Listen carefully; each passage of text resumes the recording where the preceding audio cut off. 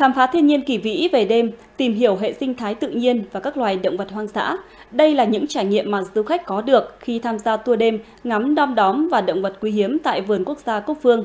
Tour du lịch được đưa vào hoạt động từ đầu tháng 5 năm nay nhằm đa dạng sản phẩm, tạo điểm nhấn, góp phần gia tăng trải nghiệm cho khách du lịch khi đến Ninh Bình. Hòa mình vào khung cảnh lung linh của hàng triệu con đom đóm lấp lánh trong đêm, ngắm nhìn những loài động vật hoang dã sinh sống kiếm ăn ở môi trường tự nhiên và tìm hiểu công tác cứu hộ, chăm sóc, bảo tồn, tái thả tại vườn quốc gia Cốc Phương. Những du khách này đã có trải nghiệm vô cùng đặc biệt và ý nghĩa khi tham gia tour đêm ngắm đom đóm và động vật quý hiếm. Tôi luôn luôn rất là muốn về rừng bởi vì là chỉ cách thủ đô có hơn một một một giờ đồng hồ thôi thì chúng ta đã gặp một không gian hoàn toàn khác, bầu không khí khác, âm thanh khác, à, nhịp điệu khác và không khí thì vô cùng mát lạnh và trong lành cộng với cả những khung cảnh thiên nhiên kể cả đêm hay là ngày đều rất là tuyệt vời.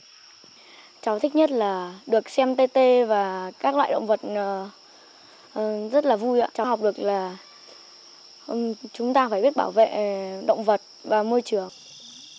Tour đêm tham quan diễn ra từ 19 giờ đến 22 giờ tất cả các ngày trong tuần, mỗi lượt kéo dài khoảng từ 1 đến 1,5 tiếng. Để bảo vệ môi trường sống tự nhiên của các loài động thực vật, vườn quốc gia Cốc Phương giới hạn số lượng tham gia tối đa 100 người một tối. Với cái nhiệm vụ là khai thác những cái giá trị đa dụng về rừng thì là Cúc Phương hướng tới cái công tác là du lịch sinh thái, có nghĩa là gì? Có nghĩa là uh, hướng tới ờ, khách tham quan du lịch đến với Cúc Phương uh, được tìm hiểu nhiều hơn được học tập nhiều hơn về những cái điều kỳ diệu trong uh, thiên nhiên. Qua đó thì có thêm cái tình yêu đối với thiên nhiên hơn.